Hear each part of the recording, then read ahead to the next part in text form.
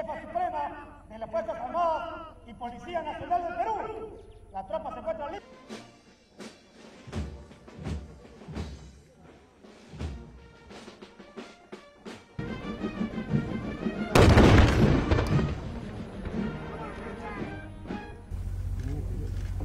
Ah, sí, eso sí.